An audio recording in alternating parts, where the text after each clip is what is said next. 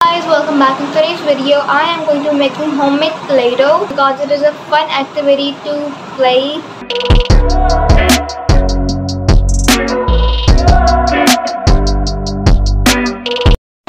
Guys so first we are going to take all purpose flour and this is measure and this is one cup. So first we are going to pour this all in and then we have salt and this is half cup. So now we are going to put all the salt inside the all-purpose flour and now we need to mix it all up. And then we are going to put oil in it. Guys then I have one tablespoon of oil. So we are going to pour this in. And then we are going to put a little bit of water and that's it. And now we are going to again mix it. And let's see and we are going to be adding water to make it like a dough.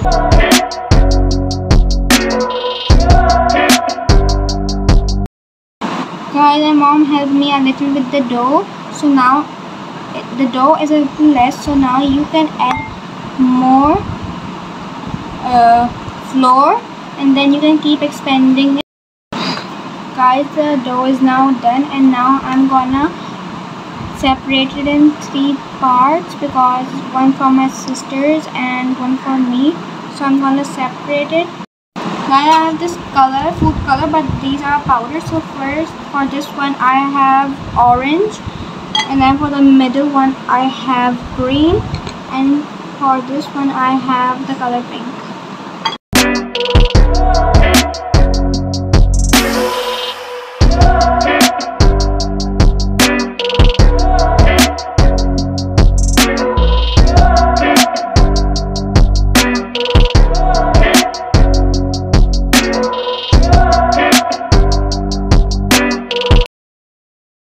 so here they are this is the orange one and my hands are little dirty.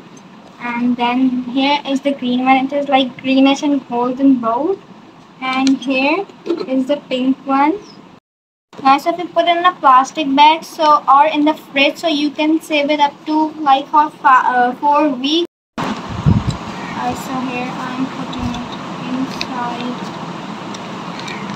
And now you can just put it inside so now it has been like three to four hours and it was sitting in the fridge and now it's actually very smooth as you can see.